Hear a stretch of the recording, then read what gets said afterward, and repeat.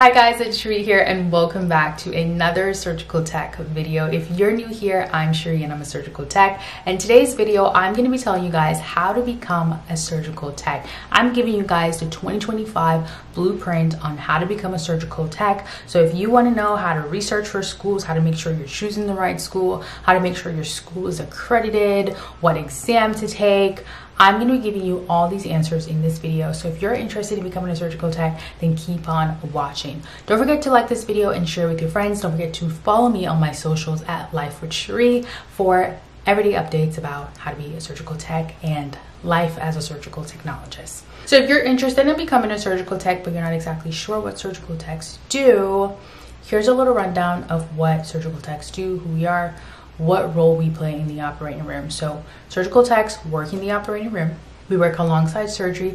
A lot of times people are confused whether or not we stay in surgery or not, and the answer is yes. We are in surgery from the beginning to the end. We're probably first person in the room and the last person to leave the room. So we get all the equipment, supplies, and instrumentation ready for surgery, we open and establish what is called our sterile field. That is having a table ready, uh, which we call a back table. Then we have a Mayo stand. Some people use a basin, but this is all sterile. When we open everything sterilely that's going to be used on the patient, we open those and we protect that field. So one of the big things about being a surgical tech is sterility. We're very like, we're like the sterility police if you want to call us that. So we're always watching out for things and making sure everything is sterile so that our patient does not get any infections and we're making sure things run smooth.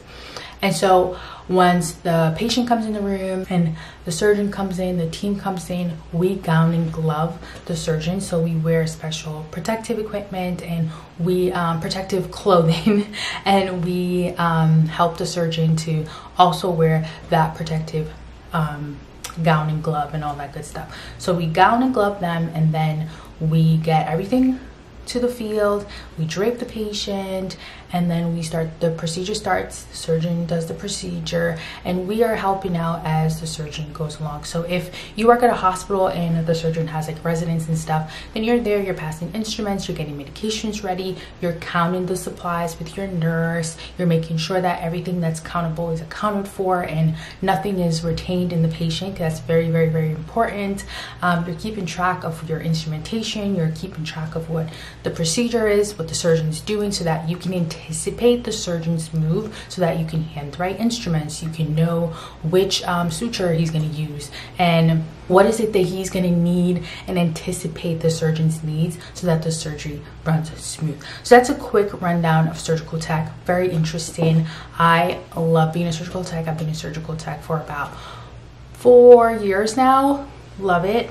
Um, don't have any major regrets about it. Really glad i chose this field. It's super interesting. You get to see all sorts of stuff different specialties and i love it. So if you're interested in being a surgical tech what is the first step that you're going to take? So the first step you're going to do is you're going to find a school. Duh. So you're gonna go on Google and you're gonna type in surgical tech schools in my area. And I don't listen. If any online school pop up, I want you to pretend you're blind. You didn't see that. We're not doing any of that. None of that online school BS. Your school needs to be either a 10 month program of in classroom learning, lab portion, and then they send you off to clinicals. Or these days, most 10 month certificate programs are now transitioning into associate's degree programs. And so that's obviously a two year degree. And so um, you want to find a program like that make sure you're you have classroom hours make sure you have lab hours and make sure they send you off to clinicals to get your experience right? But it's very important that you do not choose an online program. This is a very hands on career, and the moment you start this program, you want to be hands on. You want to be in lab, learning and seeing instructors demonstrate how to do certain things. And so you have to be in person to do this. I can't stress that enough. You have to be in person. It's not safe for you to be out there helping people when you just did not learn anything hands on. It's not safe. So you do that, you find a school You do your little Google thing, you find a school, and so you're gonna go ahead and you're gonna make sure that school is accredited. So the school shall tell you online, but people lie, um, which which is something that has happened. A lot of these schools they lie and say they're accredited, but accreditation is important simply because when your school is accredited that means you get to sit for your examination. And a lot of places want to hire you if you sat through you went through an accredited program. It just means that the school meets standards high standards right? So accreditation you want to make sure that they're acknowledged and recognized by like big like um important people, right?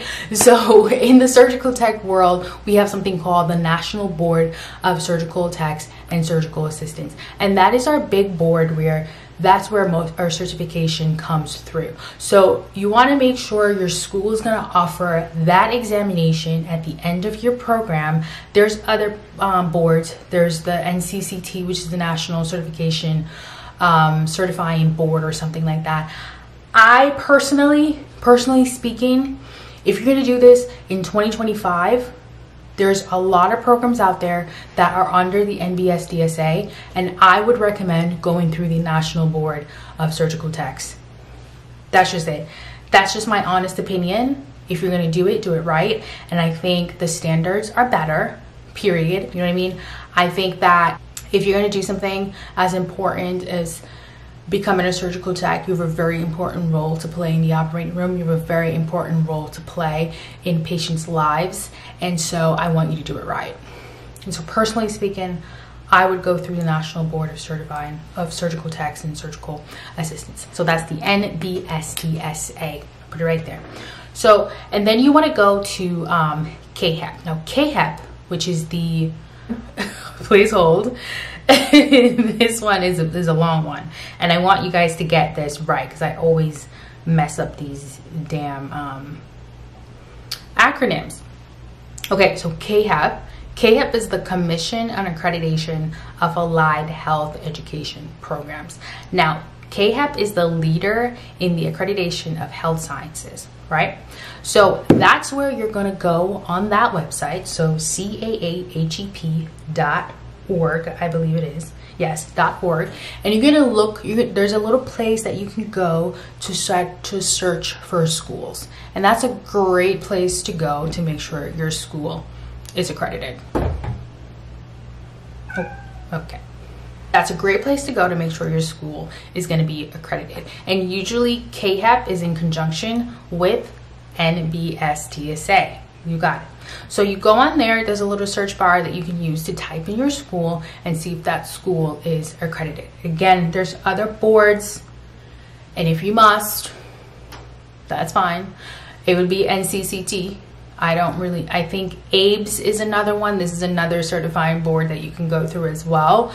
Um, like I said, NBSTSA and CAAHEP, they're gold standard for, they're made specifically for surgical techs. Also, if you get your examination through the National Board of Surgical Techs and Surgical Assistants, you become, you always see our acronym CST. This is actually um, specifically for students who have taken the NBSTSA examination. So we refer to ourselves as CSTs because we sat for that specific examination. People who sat for the NCCT, they go by, I believe, TS-C, something like that. I think it's just CST backwards with a little dash.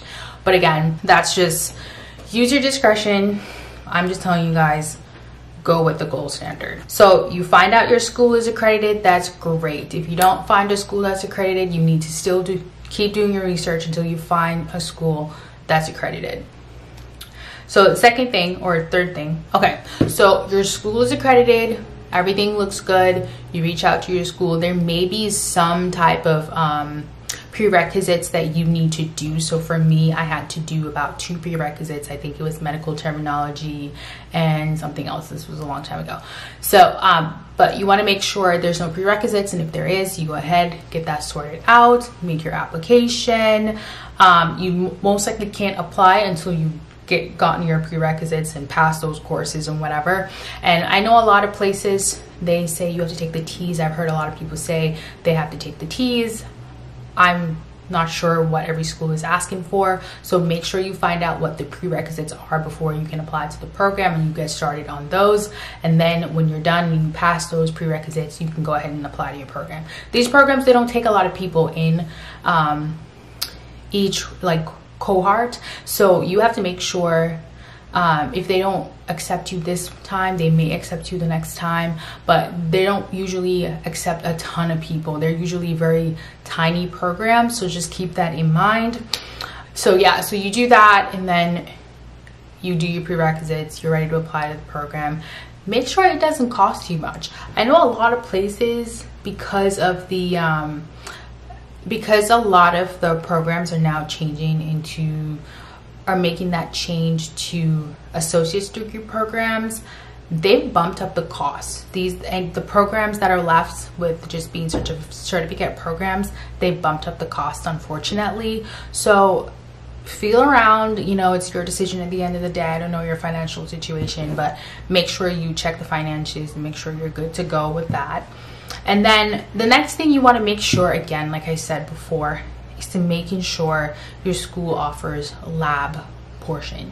So lab portion is super important because like i said this is a very hands-on job and you need to be learning things right away before you go off to clinicals and then making sure they place you at a clinical site. You should be in clinical for about four to six months. I was in clinical for about six months. I think that's the standard, but I'm not sure. If you're doing the associates program, maybe a little bit longer, but that's even better. Um, so make sure it all offers those things. Make sure it offers um, your books and things of that nature. And knowing who accredits your program is important because that's going to decide which examination you're going to be taking at the end of the program. Okay, so knowing who your school is accredited by is important because they decide which, that decides which test you're going to be able to take at the end of your program. So if your school is accredited by NCCT program, then that means you're going to be taking the NCCT test.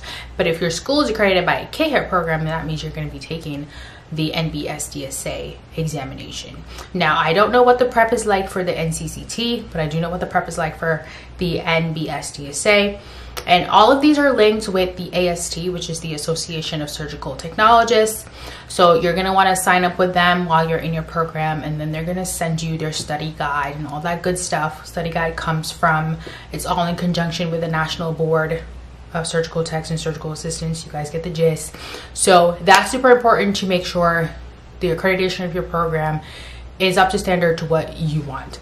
Um, I can't tell you guys what to do at the end of the day. There may not be any programs in your area that are accredited by CAAHEP, and I understand that. But again, just use your discretion and make the right choice that's best for you. So I talked about ABHES as the other um, accrediting board, and that's the accrediting Bureau of Health Education Schools. That is another program. Um, that's another commission that helps out with accrediting programs and so that's another one to think about as well i don't know much about ABHES either but i hear it's also in the same realm as probably ncct or something like that but i know the gold standard is CAAHEP so i'm going to talk about that a lot a lot a lot so you go through your program, everything's going well, you go through labs, and then it's not time for you to go off to clinical portion. I do have a clinical video if you want to check that out, but clinicals is very fun. It's very interesting.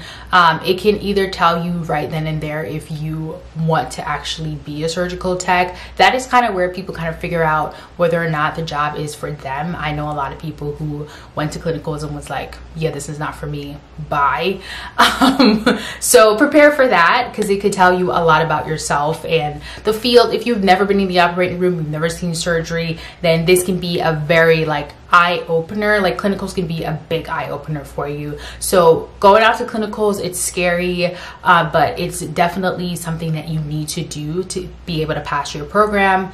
And like I said, you may find out that it's not for you, or you may find that this is the best decision ever and you can't wait to be done and find a job. um, so that's really it. Um, those are the main main steps to take to becoming a surgical tech. It's very big that you just do as much research as possible. Sorry guys, I'm so tired.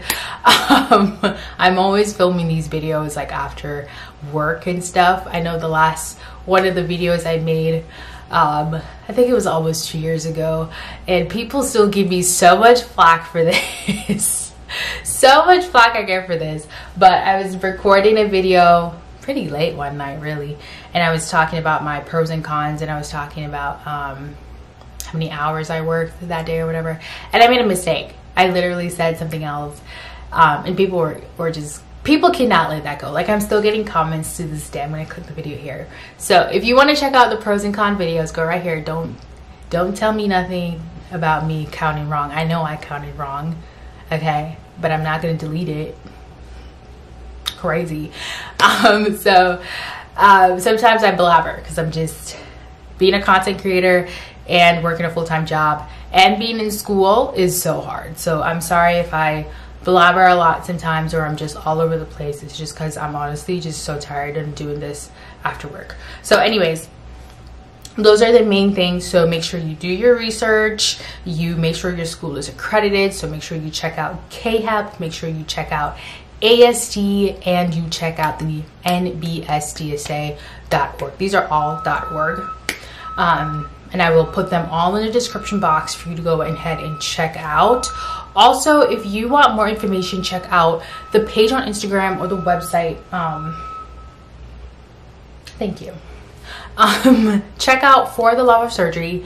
Um, I partner with my girl Tatiana and Miss Tracy, and we try to give you guys as much information as we can about becoming a surgical tech and answer all your questions and stuff. So follow us there and find us on fortheloveofsurgery.com for a lot of information and a lot of links to get you the right to get you the right places and to answer a lot of your questions.